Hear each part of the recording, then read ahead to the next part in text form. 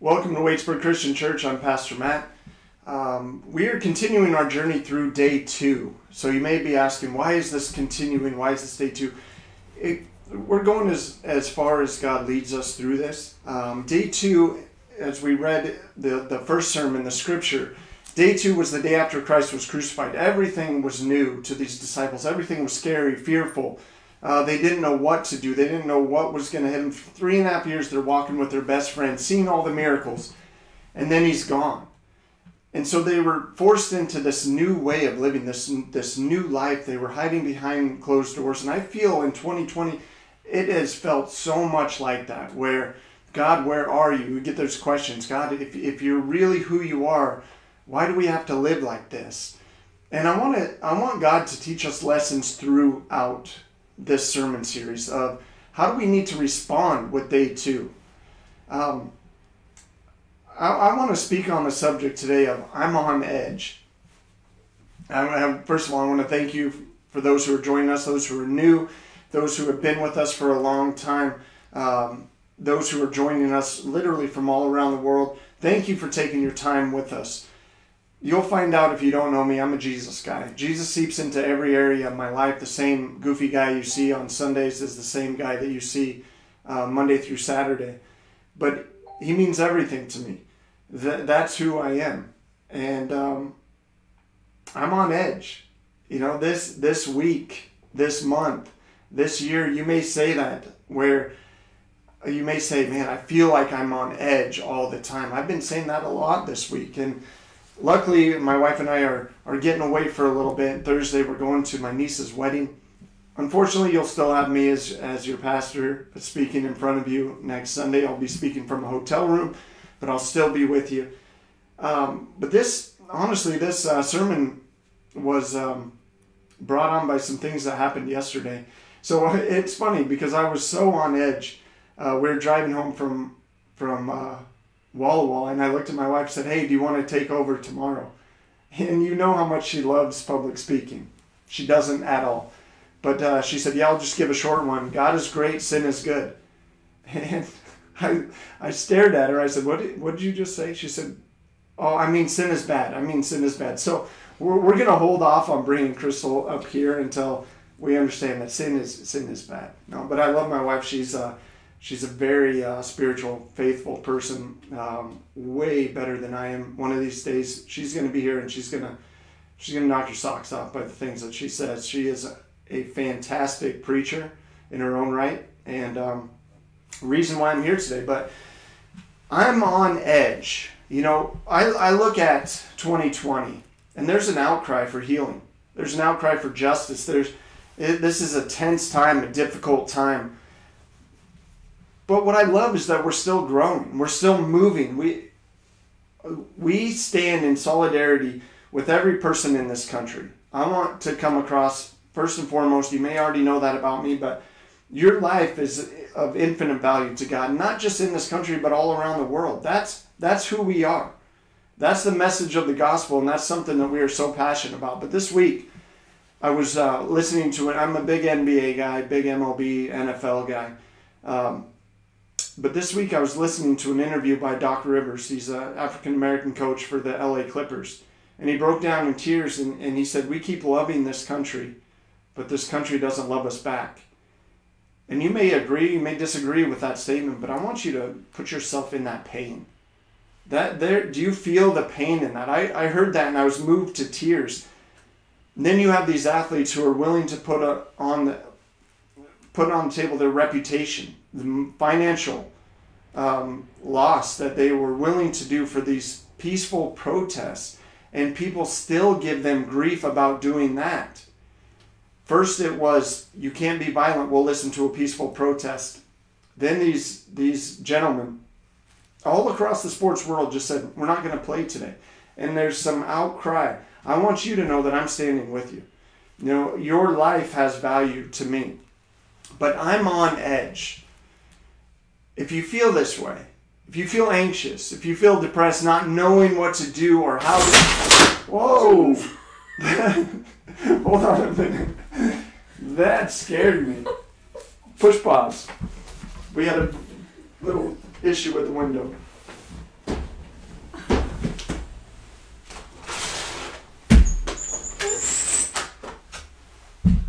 All right, we're back. I think. I think my wife jumping scared me more than anything else. So hey, we're live. People have asked me why I don't just film it and then put it. No, I want no net. This is this is. Uh, all right, Lord, help me get back in mindset. Amen. Um, are you on edge? that was perfect timing. Just a little bit on edge, but if you're feeling this way, if you're feeling anxious like we are now, if you're feeling depressed, not knowing what to do or or even how to do life anymore, this message is for you. let's go to let's go to scripture. God, calm my heart. It says uh, in Ephesians 6, Now, my beloved ones, I have saved these most important truths for last. Be supernaturally infused with strength through your life union with the Lord Jesus. Listen to the, this wording. Stand victorious with the force of his explosive power flowing in and through you. How awesome is that? It said, Stand victorious with the force of his explosive power flowing in and through you. But here's the uh, highlighted verse that we're going to sit on today. It says, Put on God's complete set of armor provided for us so that you will be protected as you fight against the evil strategies of the accuser.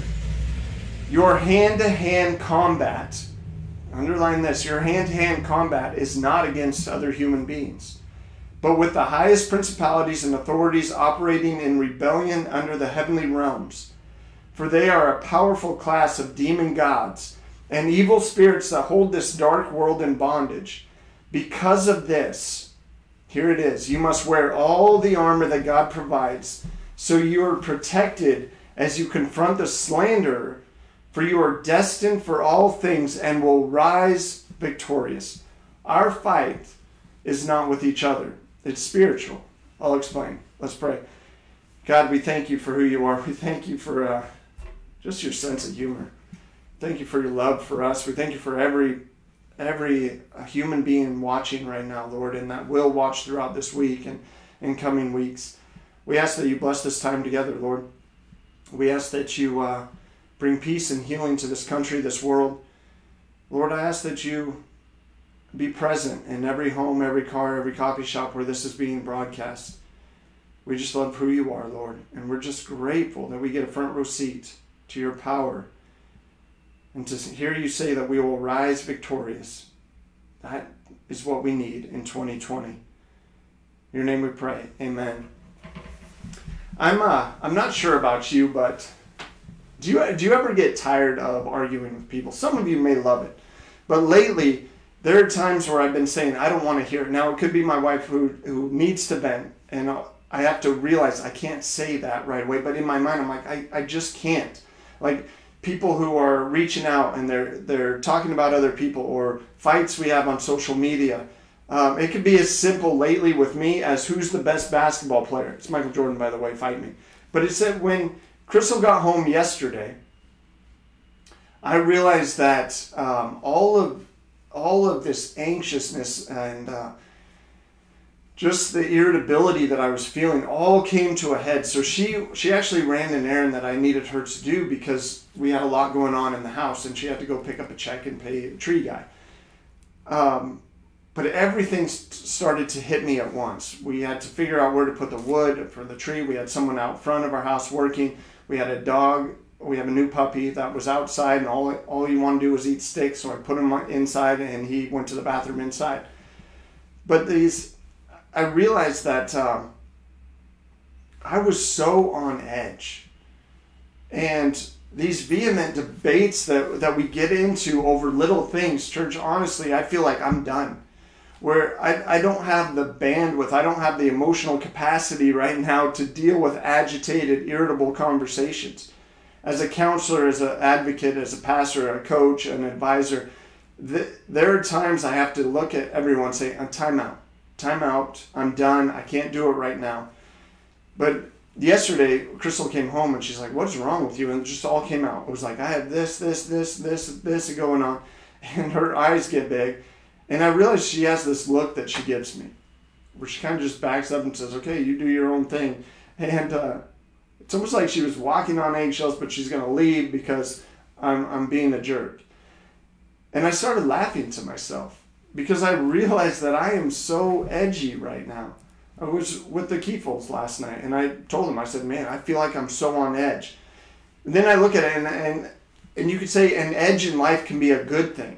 It can keep you focused. It can keep you motivated, leaned in, where you're all in this competitive edge. That's a good thing. When I say edge, what I'm talking about are there's so many frustrating, agitating things going in and around this world, in us and through us, that now we're irritable. Now we're explosive. And any little molehill can turn into a mountain quickly. And what do we do? We project. I project. And all of a sudden, what we're fighting about with a person isn't what we were talking about in the first place.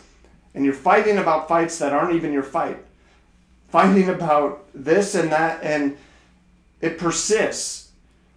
And you want to prove your view and prove your perspective, and then 45 minutes later, you're thinking, why am I fighting about this? This isn't what we even started talking about. Where we're irritable, we're passionate, and now we now I have to ask my wife to forgive me. Now maybe that's my own uh, experience and not yours, but I'm edgy. I'm frustrated about the dumbest little things. What matter? when what really matters, when I dig deep onto, Matt, why are you so edgy right now? It's what really matters is human life. And what, what really matters is that no more people die in this country or around the world. That's what really matters. People are dying because of injustice. People are dying because of a disease and pandemic. It's literally life and death. That is the daily state that we're faced with, church. The news the outlets, the, the media, we're inundated all of the time with, with all of this information. So my guess is that you're edgy as well. You may say, hey, Pastor Matt, I'm great. Everything's peaceful. Uh, don't put that on me. Okay, maybe you've been edgy. Or maybe you feel like you could be edgy in the future. Point is, when we get irritated, when we get irritable, when we get agitated and frustrated, we actually end up fighting the wrong thing and fighting with the wrong people. We get we get to fighting in the wrong way. Isn't it funny when we're we're irritable, frustrated, agitated? We fight with people we love the most. I do a lot of marriage counseling, and um, it's usually the projection is towards those that we love the most, that we feel the most trust with, we feel the most safe with. And we end up taking it out on the ones we love the most. And we make these molehills into mountains. I'm on edge. Welcome to 2020, church. Uh, now, I want to say this about Scripture. We're going to talk today about not being irritable or agitated, but more than that, finding some incredible steps and processes to acquire within us that Jesus Himself has created. Now, I'm not trying to eliminate your passion to fight.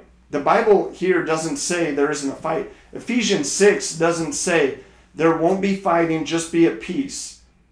But some of our culture wants to uh, promote a false peace where everyone just lays down their differences and, and their pains and these grievous acts that have happened and the, the pain of the history of the United States of America and the church itself, and we just play pretend. It's not real. It's not real peace. A real peace, church, is, is with truth involved. I'm not trying to look the other way, pretending it's not there. You know, it's not that I don't want to deal with my own shortcomings and, and look away from what part that we have all played in injustice that seems to fill the country and where we are. There is a fight. But the Bible says fight the good fight, not the wrong fight. There is a fight. It's a good fight and the right fight. Ephesians 6 says it's not against human beings. In fact, church, our fight is for human beings, not against. When somebody says Black Lives Matter, you may instantly hear blacklivesmatter.com, an organization that is politically anchored somewhere and has issues and an agenda that, frankly, in some cases aren't biblical, and I cannot get behind. So maybe you hear Black Lives Matter and you may think that, oh, it's that political movement. What I hear is a lifestyle of love. What I hear is that there's a question in this country and maybe other countries that the lives of black men and women, boys and girls, don't matter as much as other lives. That, that church is worth fighting for. That's when we stand up and say, no, every single man, human, woman, child, uh, human being on this planet, specifically black human beings, matter just as much as any other human being on the planet. That that's worth fighting for. Another fight that's worth fighting for is the preservation of life when it comes to this disease and pandemic. We can do everything we can do or know how to do, which is so hard right now, right? Because we get all this information, something brand new that is happening, and we can't really wrap our minds around it or know what to do. But what's worth fighting for is that we can try to save more lives and protect and preserve more human life. Another fight that I'm passionate about preservation of human life when it comes to not only disease and panic, uh, pandemic of COVID or illness, but the pandemic of abortion. Taking human life and ripping it from a body at a higher rate than any other disease before the baby can even take its first breath. That's a fight worth fighting for. That's our passion. Fighting for human lives are worth fighting for. There is a fight. But I'm going to say this and I want you to write it down. I'm going to say it twice. In the fight for human lives, we cannot fight other human lives. I'll say that again. In the fight for human life, we cannot, church, we cannot fight other human lives. It's self-defeating. It's what Dr. King says is hate cannot drive out hate. Only love can do that. You may know that this week we had an incident at, in front of our house between the church uh, where someone came in the middle of the night and destroyed the blessing box that we stocked for the last two years. We have stocked, community is stocked with canned goods and food for those in need. Families are coming at a higher rate than ever before during this quarantine, during this pandemic. Somebody broke the door and took all of it and uh, scattered everything that was in there. And I have to admit, I wanted that justice. I wanted that hate. I wanted that tell me who it is. And I was already on edge because we had a court hearing later that day where we had to confront some very bad people. But I get a phone call not even half an hour later. And it's from a young man here in town. He says, Tell me what's wrong with the box. I have supplies. I'm going to come right now and fix it. Within five minutes, he came, and within 20 minutes, that box was even better than before.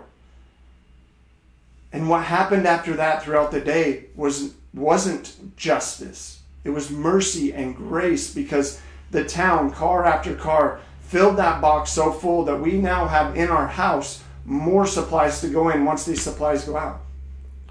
We can't fight humans so we can fight for humans.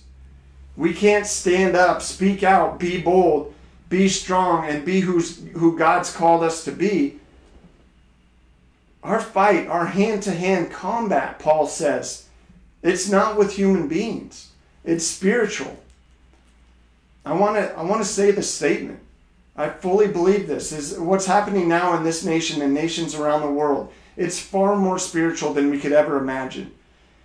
Can I can I tell you one of the revealing ways that you know Satan himself is at work and this is a spiritual battle? The Bible says in in Ephesians that we just read that that Satan has two titles.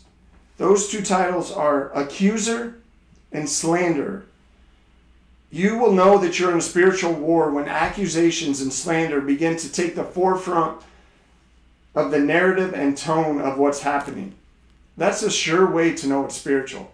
The devil himself doesn't want this to work. The devil doesn't want any of this to work. Look, look at the accusations around us. Look at the slander that's going on around us, especially in, in election time, especially in COVID, all of these. We're living in a culture right now where accusations and slander are celebrated. I'm not saying we don't speak the truth, but we need to speak it in love. The Bible doesn't say to look away the other way when we see error, when we see injustice, when we see murder. Jesus didn't look the other way. He stepped right into the middle of it. There was this practical, literal justice that had to be played out in continents and governments and human lives that are clearly lined out in the Bible. But it is also very clear in the Bible that in the ways of Jesus, an effort to fight for human lives, we don't fight other lives. We fight spiritually. One, one of the great ways we, we can fight, church, and I, I'm, I beg you, I implore you as your pastors, not participate in slander and accusations. I see it all the time. Both of which are, uh, they're not anchored in truth. And that's the hardest thing to do sometimes, right? When you see an error and a wrong, and you want to slander and you want to accuse, we want to tear them down. We want to devalue their, their opinion, their beliefs. We want to demean them. We don't participate in them as a family, and I hope as a church that we will understand we don't participate in them. We speak the truth, but here's the here's the kicker. Pay attention. We speak the truth, but we only speak the truth when it is motivated in love. We don't just say, "Hey, I'm just being honest," and then just ream them and and drag them across the coals. No, we only speak the truth when it is motivated in love. That's the part that we're missing. We're missing the motivated in love. That that's what's going to bring change and progress to our country, to our church, to, to the world. One, one of the ways we know this is spiritual is slander and accusations are swelling right now. It's at an all-time high. We will not participate in that. We will speak truth, but it will be in love to, to as an effort to improve humanity. That's who we want to be. That's who we are. Another thing I think is important we will have to rehearse in these days. We're going to have to remember whose we are and where we stand. We are righteous, church. If you've accepted the Lord as your Savior, it's a free gift. And, and if you haven't, I urge you today, let that be the day. But you are righteous. You stand righteous. The Bible says God sits in the heavens and he laughs at his enemy, all those that oppose his plan. I love that because God finds it humorous that people feel like they can stop his plan. They, they think that they can stop him through this COVID, through this 2020, through this day two, and keep him from what he's doing. No, he is in complete control. I want to remind you God is the victory, God is the champion. We will win. We do win. I've read the end of this book. Every knee shall bow and every tongue will confess that he is God. But I also believe God will bring healing to these nations. That our church, churches around the world, will continue to grow. People's lives will be transformed. Church, do you understand this? If you're a believer in Jesus, we win. In life, we win. In death, we win. Jesus is our winner and our champion. And all of our efforts for, uh, for true justice and all of our efforts for true equity true integration of the church the church i'm talking now not not the country not the world the church all of our efforts when you feel down when you feel detoured when you feel like nothing's changing or nothing's working in this day two, i want to remind you that we have a captain we have a savior. His name is jesus. He is undefeated. He is undisputed. God all by himself. He doesn't need anyone else. He chooses us. He is big. He's powerful. He's sovereign. He has no needs. I want you to know this that I want you to remember that He is in control. If that's all you take from today, remember God is in control. Here's where I'll end. You, you may feel edgy, you may feel, feel irritable. You have to remember not to fight other human lives. You have to remember that He's in control, that He's sovereign.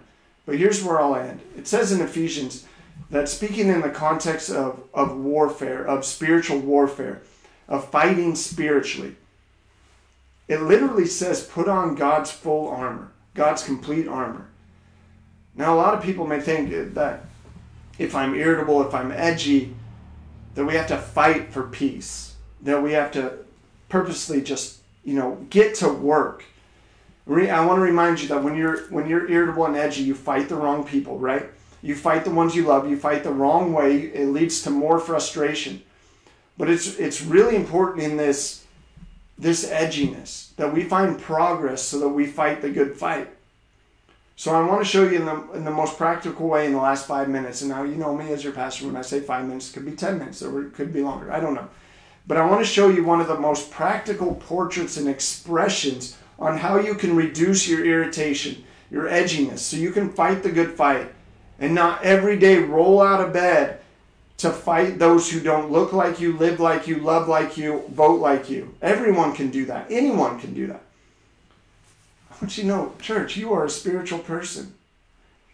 You're forgiven by Jesus, and He has a plan for you, even in 2020, even in this day two. It says to put on the whole armor of God. A lot of people will take this passage, and I, I was one of these young pastors who I take this passage, and you think you have to memorize the whole armor. Where I have to put on the shield, I have to put on the, the belt of truth, the cloak of zeal, the helmet of salvation, the sword of the Spirit, the shoes of the gospel of peace, the breastplate of righteousness there may be another, I don't know. But I don't I don't think it means to every day go through all of that and put it on. Okay? You may be surprised I say this because you may have heard other sermons from other pastors that say every day you got to buckle down and you got to put all of this on, put on that helmet, get your sword out. I I the reason why I don't believe that it means every day go through it all and put it on is because look at the original translation. The original words put on in the original translation literally means sink into. Wow. That that is so good. Sink into. There there's a provision that God has made for when we are in a fight. And we, church, don't don't misunderstand that. We are in a fight right now. There are wicked evil forces that it says in Ephesians, there are wicked evil forces that want people to feel less than human to feel less than valuable, to feel less than significant. There's a wicked, evil, foul plan. The hordes of hell themselves that literally want black men and women, boys and girls in this country and around the world to actually feel like they are less than others. And that that we will fight. Now, now what we're fighting for, what we know is true in scripture you're going to have to sink into the into the whole armor of God.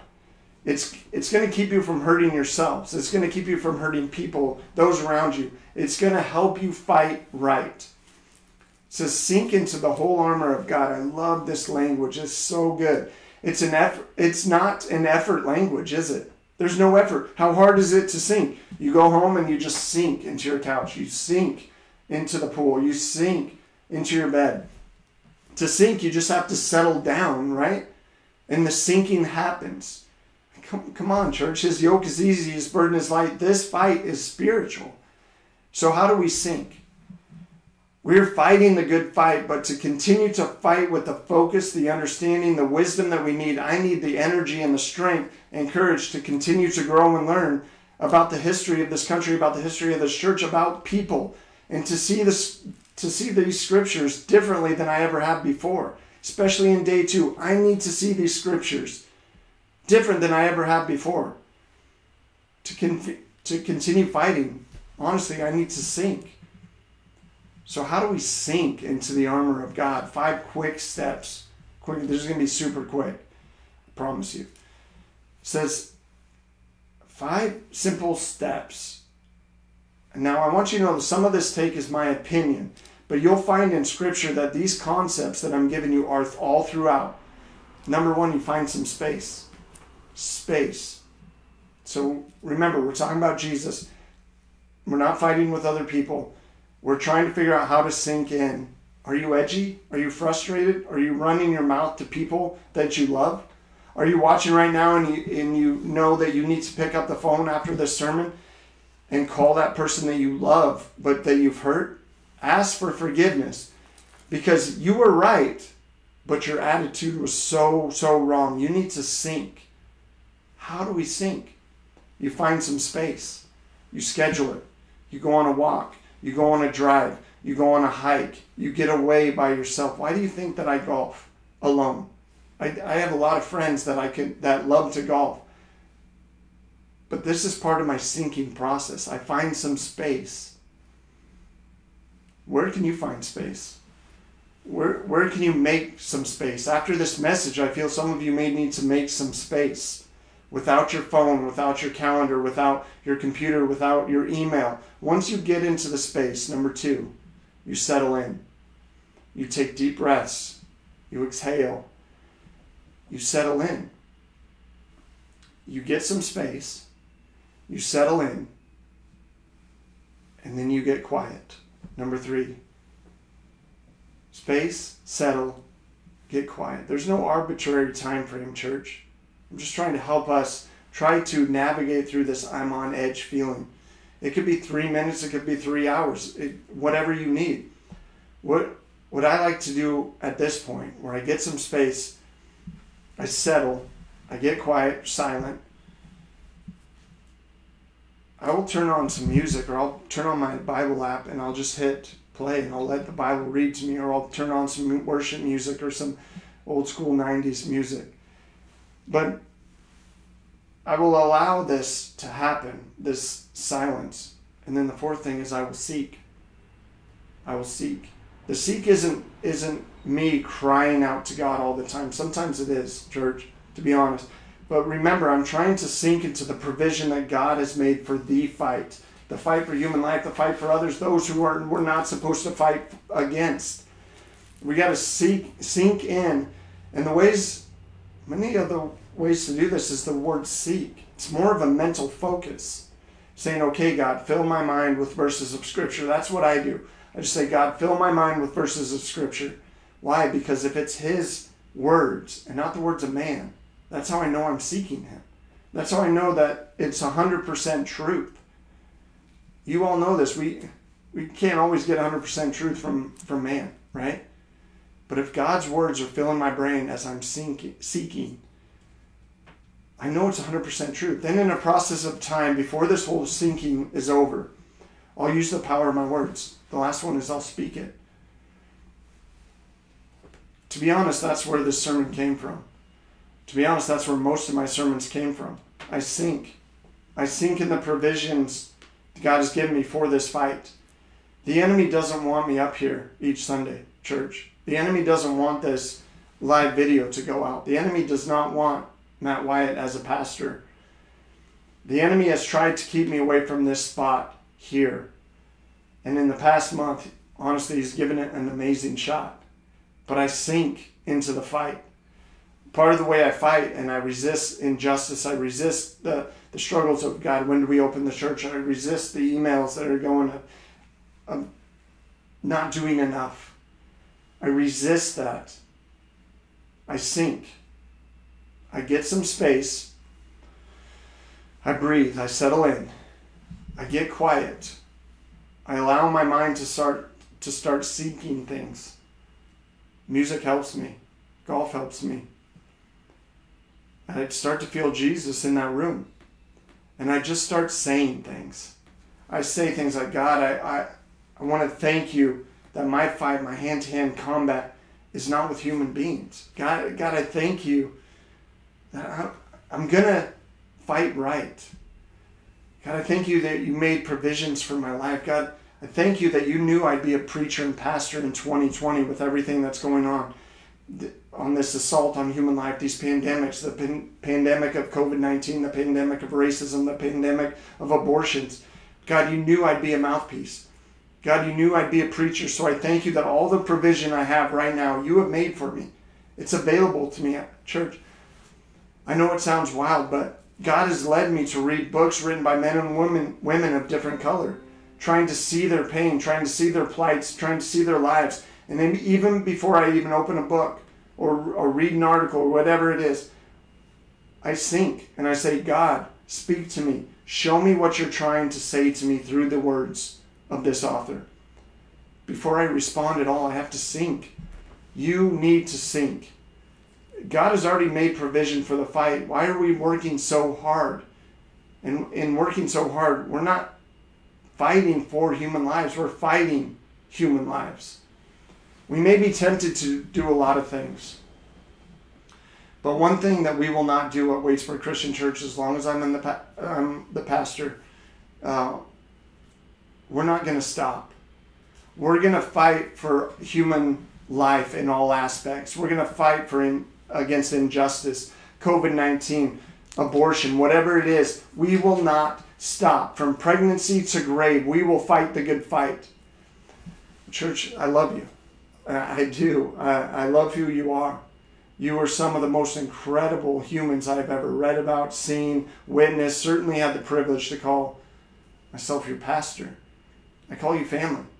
I call you friends. I love you. God, I'm on edge. He's saying, no problem. God's got a provision for you. The peace of God that, that surpasses all understanding will guard your heart, will guard your mind and soul. But we need to sink. You're not alone. Your fight is, is not with people, and you are not alone. God is with you, and you have a community with you. And we will fight the good fight of faith together. Let's pray. God, we thank you for who you are. Thank you for just being allowed to be a mouthpiece for you, Lord. Just as humbling as that is, but I realize that it's not my title that, that allows me to do that. That all of us can do that, Lord. That all of us can sink so that we can fight the good fight, the correct fight, the right fight. I pray, Lord, I pray, you know my heart. My heart breaks, my heart hurts. I pray that we stop fighting other human lives. Lord, I pray that we realize that the, the enemy, he's a slanderer, he's an accuser. And I pray we don't buy into that, Lord. We know that he doesn't win, but these small little victories that he's having are killing us, are killing our country, are killing our world. We need to stand up, speak the truth in love, fight the good fight. Now, if anyone is watching right now, Lord, and this has touched their heart, and they are not a follower of you, they have not yet accepted this free gift, that today is the day they speak with their, their lips, believe in their heart that you are King, you are God, you will win. Lord, you're 100%. That all we have to do is cry out to you, and immediately we are transformed. Turn from our old life I pray that someone does that today, Lord. In your name we pray. Amen. Church, I mean it. I love you. I love every single one of you. Um, it's an honor for Crystal and I to be able to pastor over you. I just pray that we start to fight the good fight. Pray that the slander, the accusations that go out on a daily, minute by minute basis, or they see something different about us. We're fighting the good fight. Why? Because we're sinking into you. God bless you guys. We'll see you Sunday.